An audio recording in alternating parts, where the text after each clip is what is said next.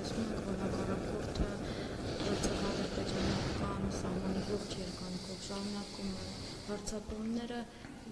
այս առումով ինչ կասեք այսպես հա ըստեյության ջանքերը նաև միջնորդների այդ թվում Ռուսաստանի կարծես թե նպատակին չեն կարողանում ծառայել Ինչպես ես ասել էի, սա այս կռիվը Արցախի համար չէ, այս կռիվը տարածաշրջանը վերաձևելու փորձը նախաձեռնած Թուրքիայի կողմից եւ ես կարծում եմ, որ այլևս Ադրբեջանը չի որոշում ինքը հարցակվի, չհարցակվի, նահանջի, թե հրադադար հաստատի, այդ որոշումները կայացվում են Թուրքիայում եւ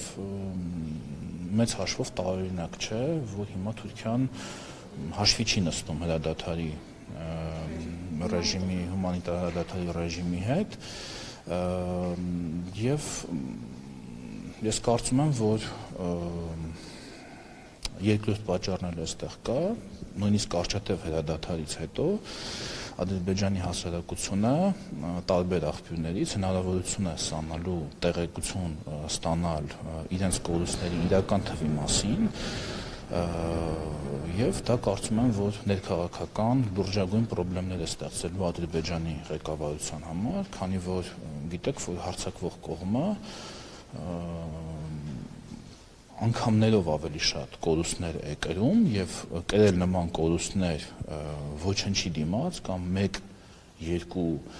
այսպես դիրքի կամ նույնիսկ գյուղի դիմաց դա այս պահի դրությամբ տոտալ պարտություն է այս պահի դրությամբ դրա համար իրենք փորձում են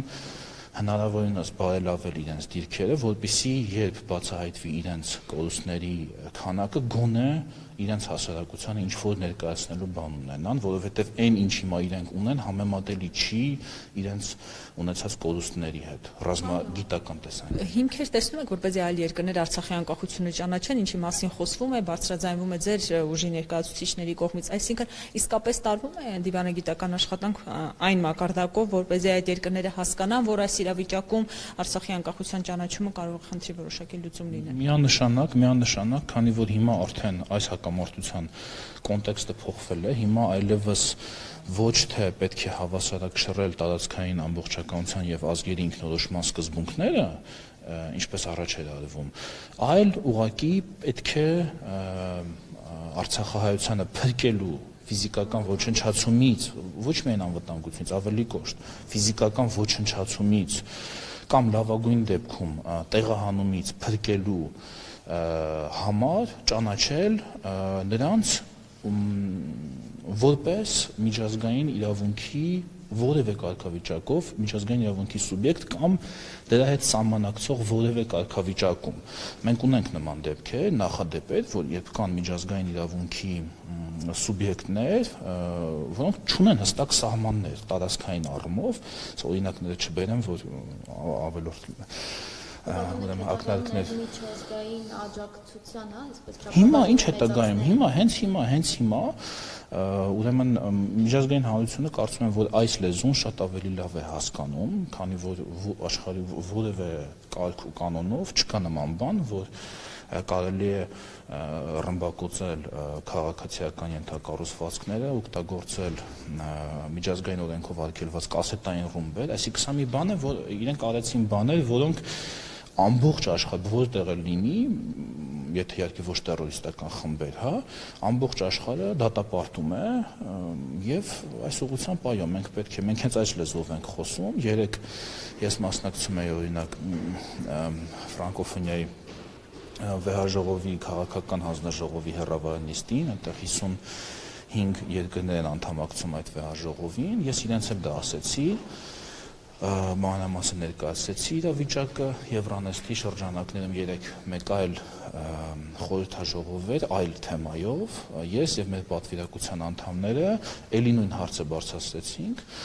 այստեղ մեզ սպասում է շատ ծանր ու տևական աշխատանք, բայց արդեն արդեն դուք ես կարծում նկատում եք, որ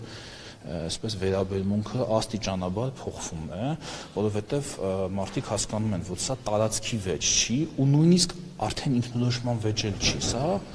գոյամարտ է։ Եղոյան դուք մասնակցել եք ազգային ժողովի խորհրդի կազմով վարչապետ Փաշինյանի հետ հանդիպմանը հրաապարակումները շարունակվում են առայն որ վարչապետ Փաշինյանը ունեցել է ծանր խոսակցություն եւ խոսել է այն մասին որ իր հրաժարականի հարցն է բարձրաձայնվում եւ նշեմ նաեւ որ այս օրերին բան չի եղել դա բացարձակ սուտ է նույն նման բան չի եղել Ասվում է նաև, որ հիմա արդեն կառավարությունում, երբ հանդիպումներ են ամեն թափով անցկացնում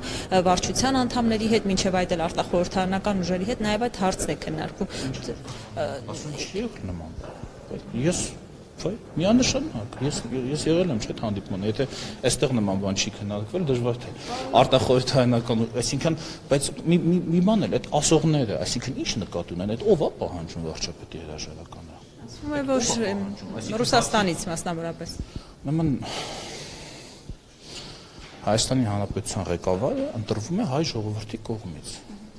Ընտրվում եւ փոփոխվում է հայ ժողովրդի կողմից եւ Հայաստանի քաղաքացիների համար պետք է առնվազն վիրավորական լինի ցանկացած նման խոսակցություն ընդհանրապես։